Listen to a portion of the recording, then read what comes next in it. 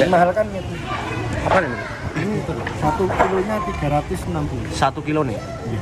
Habis berapa kilo? Kayak sampean sak ngertosnya loh.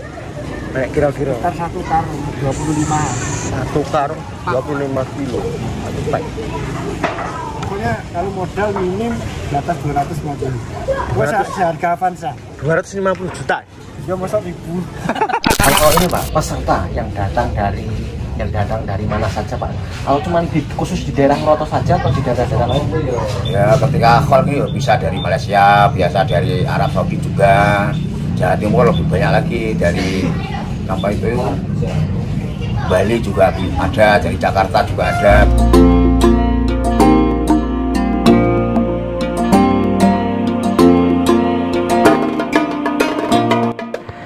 Halo teman-teman semua, berjumpa kembali dalam video Arno Channel. Bagaimana kabarnya?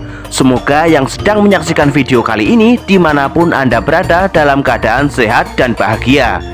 Dan jika pun ada yang sakit, semoga diberi kesembuhan. Amin. Jadi teman-teman, kami sedang berada di Kabupaten Grobogan, Kota Purwodadi.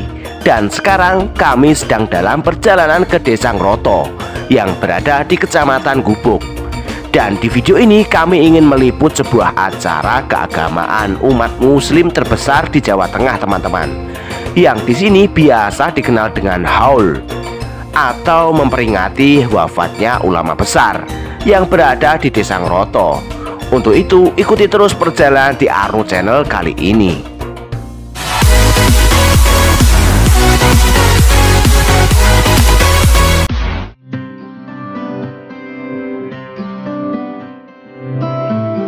Tiba di Desa Ngroto, terlihat jalanan di sekitar masjid sudah terpasang terpal berdekorasi. Untuk pelaksanaan acara berada di dua titik lokasi, yaitu di Masjid Jami Sirojudin dan Musola Muftahul Huda. Ada yang unik di Masjid Jami Sirajudin ini teman-teman. Adanya masjid di dalam masjid. Ya, di dalam masjid megah bangunan masjid ini ada bangunan masjid dari kayu kuno peninggalan Kiai Sirojudin yang masih kokoh digunakan jamaah sampai sekarang.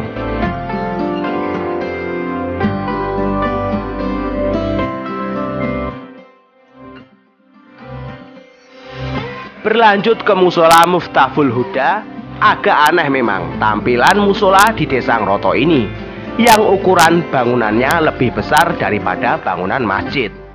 Di musola ini teman-teman bisa melihat kesibukan para pekerja seni dekorasi. Dibantu santri menghias dinding ukir berlapis cat menyerupai emas. Terlihat mewah dan megah ya teman-teman. Konon biaya dekorasi ini mencapai ratusan juta rupiah yang digunakan dalam acara ini. Satu bulan pengerjaan. Iki detail-detail lagi satu bulan sampai hari ini. Wes satu bulan berlalu. Itu tahun kemarin. Oh, berarti anu Yang 30 hari kejar waktu 2 minggu. buat sekali disimpan ngoten Mas. Ini masa simpen. Nanti kan pindah-pindah pak. Eh? Misalnya simpen misalnya jenengan ngesakno. J. Mas, lo pengen nanggap dekor-dekor jenengan. Nah, mungkin sakit. Ini khusus khusus tinggo acara hall atau nikah-nikah nikah ya juga sama. Nikah nggih, pre-wedding enten ki Mbak. Tapi ya sama konsepnya beda. Enten. Konsepnya tapi nek somane njaluk sing model mewah ngoten ya. Nggih, sakit. Syukur-syukur tuan rumah nggak ada biaya, nggak ada buat nopo buat usaha bisa juga. Nek niki biayanya? Mas? Nek pembuatan. Sampeyan ngetos. Nah, ini mas, masalah nominal kan biasanya kan harga tergantung harga pasaran bahan. Hmm. Yang mahal kan gitu. Apa ini? Ini satu kilonya 360. Satu kilo nih. Iya. Habis berapa kilo Mas? Nek sampean sak ngertosnya loh. Nek kira-kira Ntar satu karung 25. satu karung 25 kilo. Baik. Pokoknya kalau modal minim di atas 250. Gua 200. se- seharga Avanza. 250 juta. Ya masa ribu. Ya kan genake Mas. Ini Udah mantep nih. Kalau Surabaya kan cedak Alfitro itu malah istimewa. Lebih dari ini. Kalau di sana minim kadang ya Innova pajak biayai kalau nah kurang lebih tiga bulan lagi Tiga bulan. Nah, kira mamane buat sekali disimpan mana sing nyimpan pihak sini atau pihak kreatif ya? di pihak kreatif Pihak kreatif disimpan lagi. nah misalnya kalau misalnya pesantren pengen buat bisa diusahain bisa jadi kan teman-teman kan ayolah kerja bareng siapa yang ingin tenaga mungkin Nenek semana dari sampean dari, dari tim kreatif ini berapa orang mas? Dari tim kreatif wah timnya di kakak ada. Jeporo enten di atas nama Gembel gitu. Oh. Jadi nek sing santri-santri niki Oh, ini santri nggih enten aku nggih mboten dilebotno tim. Kecuali nih misalnya kan proses belajar. Tapi misalnya santri nggak ada tim piyambak, tim dekor pondok. Jadi main bantu-bantu sing ringan-ringan temen nih. Iya. Kalau nek santri-santri. PPNH alhamdulillah pun nggak ada tim. Nggak ada dekor. Dia cari generasi lah. Jadi iki sing anu carane eh, pengen gaming ini ngubungi Mas e. ini. Ya bisa. Misalnya jenengan gue nggak ada. Mas, aku pengen penting modal pokok jenengan ini gaya cara pengajian atau gaya cara apa kawinan kan bisa Dengan biaya sing Nah, sak menit kalau ini kan punya dekor wilayah Iya. ini yang punya sampean, Pak. Cuma nek motif-motifnya jual sawah bikinnya ini. jual sawah, Pak. ya ya ora atau saya tidak ada sawah tuh Ya, sampean asli pundi, Mas? wah kan blasteran Terus Jawa Barat? Jawa Timur. Jawa Barat, Jawa Timur, menetap di? Boyolali. Boyolali. Oh, tak kira orang-orang sini loh. Ya nggak asli sini saya. Cuma ini ada hikmah lah. Jadi pesantren di sini. Oh, nyantri di sini. ya tukang sapi. Oh, kalau ini Ustadz Ustadz Ali Warso oh oke. misalnya oh ada oh pengen keinginan buat acara usaha pernikahan bisa desain biasanya kan minta gambar Bisa ada contohnya Nah, ya. Ada katalognya ya. kan analog ada versi gedung apa versi kampung nah, ini saya senangnya Tapi nek kalau di hall ini khusus kalau yang di sini 200 ju- 250 juta. Ini belum yang di masjid. Wah beda lagi Oh, beda lagi proyeknya. nah kalau yang di masjid itu gandengannya yang itu kan satu satu tema cuma bisa diputer-puter Oh gitu. Berarti ya anu ya kerjasama ya, di masjid bisa sini. diserasikan gitu. Oh, gitu. Meskipun satu gambar tapi bisa diserasikan. Berarti 250 juta cuma sini dok. Iya. Belum di masjid. Misalnya kok oh, ya, Mas aku nyicil ya desain satu gambar oh ada dana sekian paling berapa meter? Per meternya kira pak? Satu meter kurang lebih ya sekitar 17 Satu juta tujuh ratusan Satu juta, satu juta Per tujuh meter ratus per meter. Bikin motif seperti ini. Tergantung motifnya. Pokoknya operasional plus Motifnya. Acara haul di Desa Ngroto ini diikuti oleh jamaah Al-Hikmah dari berbagai penjuru daerah. Bahkan menurut penuturan salah satu warga, jamaah Al-Hikmah juga datang dari luar negeri. Untuk mengikuti acara haul di Desa Ngroto ini, para jamaah yang datang dari luar daerah biasanya menginap di rumah warga yang sudah telah disiapkan beberapa hari sebelumnya. Rumah warga yang digunakan menginap para jamaah Al-Hikmah ini disebut maktaf. Jadi teman-teman untuk eh, para pendatang peserta hall di luar kota eh, yang be- mau beberapa beberapa hari di sini bisa menginap di rumah warga.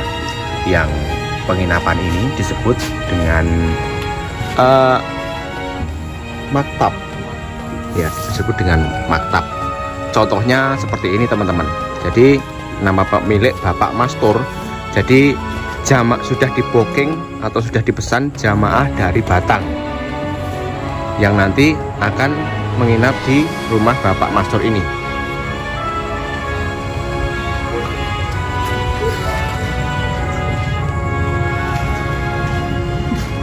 Jadi salah satu rumah warga yang dijadikan maktab untuk para peserta hall itu seperti ini teman-teman. Kan desain seperti biasa rumah kayu. Dengan lantainya juga rumah kayu. Yang ini juga lantai ini juga eh, bermodel panggung. Jadi nanti para peserta yang dari Batang tadi yang sudah pesan rumahnya Pak Mastur tadi menginap di sini. Assalamualaikum Waalaikumsalam warahmatullahi wabarakatuh. Bapak sinten mau Pak Mahrum. Bapak Mahrum. Bapak Mahrum enten desa pun ini Pak Desa Desa Kroto, Desa Ngroto Kecamatan Gubuk, Kecamatan Gubuk Kabupaten Grobogan, Purwodadi. Kabupaten Grobogan Purwodadi. Lah niki kan ngene Pak, Oh. Pak Mahrum niki kan kebetulan griyane rumah niki kan deket sama masjid apa namanya Pak? Masjid Jamek Sirajuddin. Sirajuddin.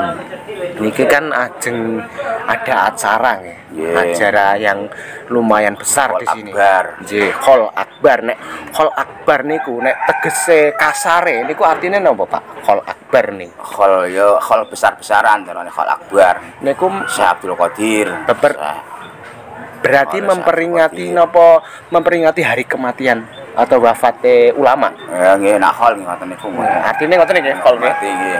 Lah niki Pak nek ding di dusun Ngroto niki sing di hall niki ding diperingati eh, hari ini, eh, hari hari besok ya Pak ya. Nggih. Niki niku ada berapa apa ada berapa tokoh agama Pak?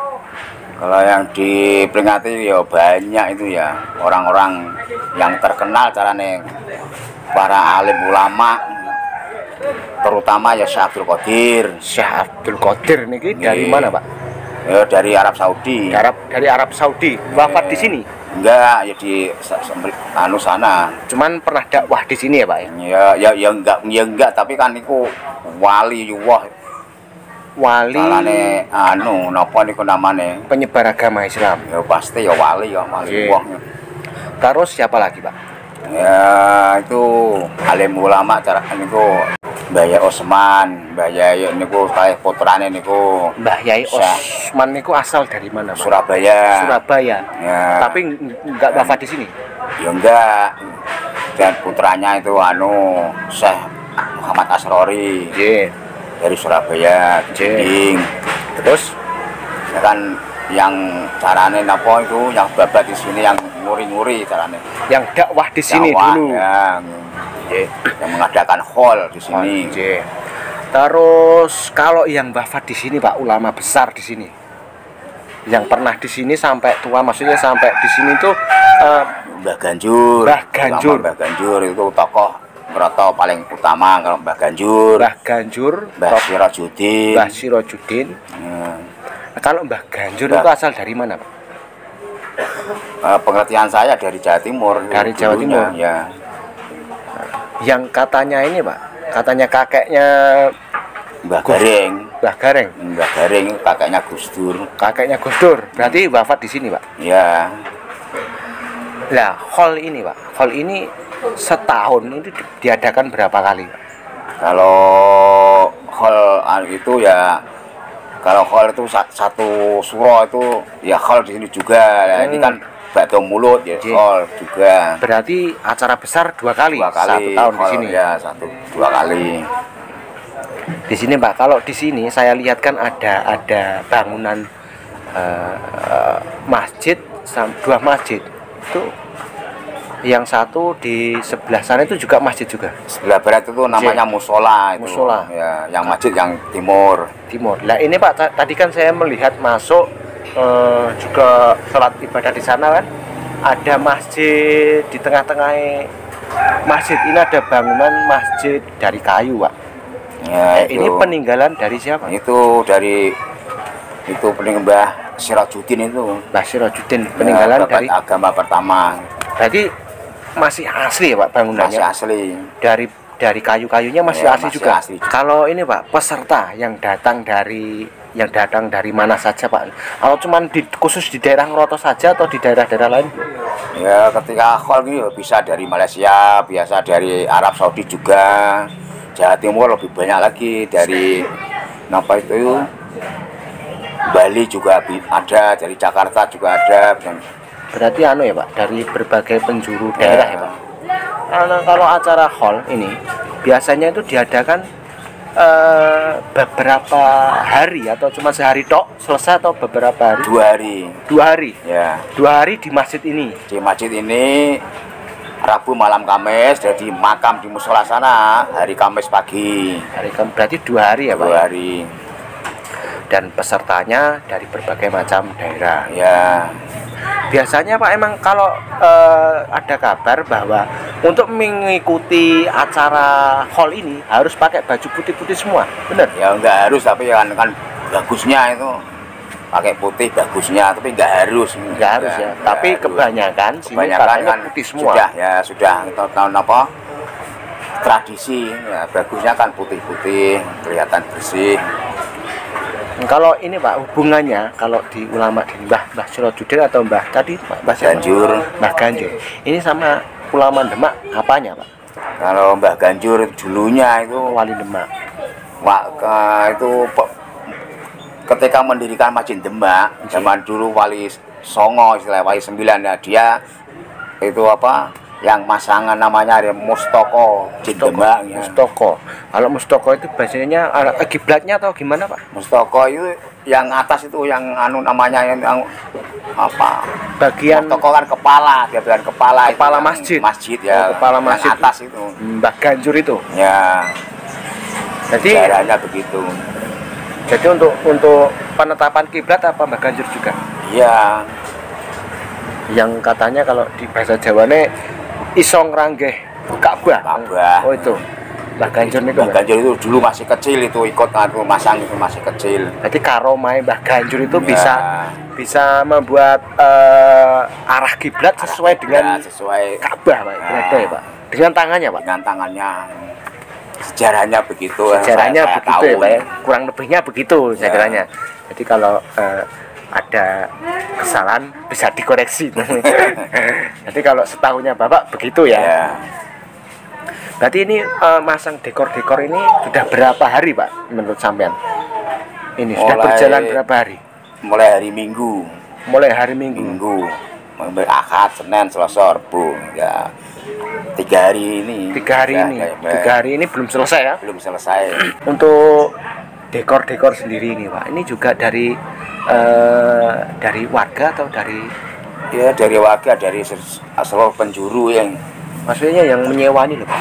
Menyewa ya warga tadi mintain salah istilahnya sumbangan Oh gitu. Pasti dari warga Ngeroto sendiri. ya ya anak murid-murid dari beberapa anu daerah karena anak murid toreko nggak bisa di anu ya, dimintai itu Nah, Jadi di sini itu termasuk eh, di daerah Ngeroto, di dusun Ngeroto. Dusun atau desa Pak? desa Desa Ngeroto ini termasuk ini ya Pak.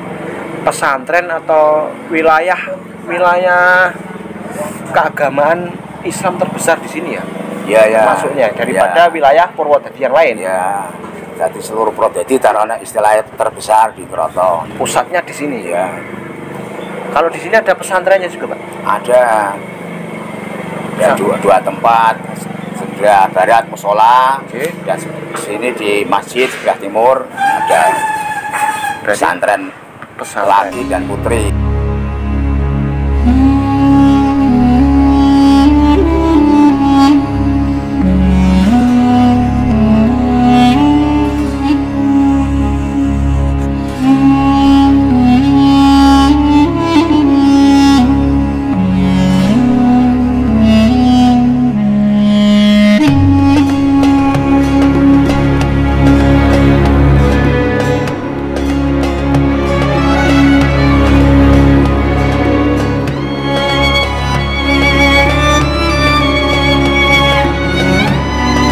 Jadi begitulah saja teman-teman liputan explore haul Desa Ngeroto di video Arno Channel kali ini. Terima kasih untuk teman-teman yang sudah menonton. Jangan lupa untuk like, komentarnya, dan subscribe. Sampai jumpa di video selanjutnya.